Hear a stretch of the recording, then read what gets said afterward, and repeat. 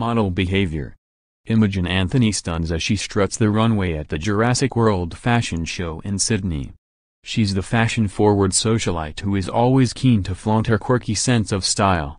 And Imogen Anthony, 27, cut a stunning figure on Wednesday as she walked the Jurassic World, Fallen Kingdom runway show in Sydney. Appearing in two very different but equally off-the-wall outfits, Imogen looked almost unrecognizable as she wore an ornate septum ring for one turn down the catwalk.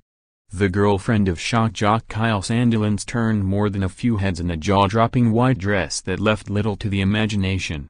The barely there dress showed an ample amount of Imogen's skin while also featuring ornate jewel work at the décolletage and a flowing bridal style train that started at her thigh.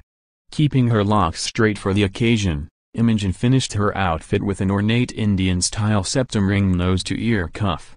She also wore a pair of large, striking silver earrings, while finishing her look with a dark eyeliner and a healthy application of blush. After a quick costume change, Imogen returned to the catwalk in no less dramatic fashion. This time, the blonde beauty was a vision in black, flaunting her cleavage in a feathery number that featured a flowing cape. Keeping her hair and makeup the same as her first go-round, Imogen also accentuated her well-toned legs with a pair of thigh-high black boots. Sporting a serious expression, Imogen looked at home on the catwalk exuding a confidence that would put many models to shame. Obviously enamored with her nose jewelry, Imogen also wore the sartorial accoutrement when arriving for the event. Her red carpet attire was no less head-turning either, with Imogen wearing a long black t-shirt and matching thigh-high boots.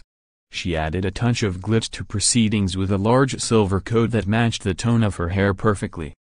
Kyle Sandilands was there to support his flame, but he decided to dress down so as not to take the spotlight away from Imogen.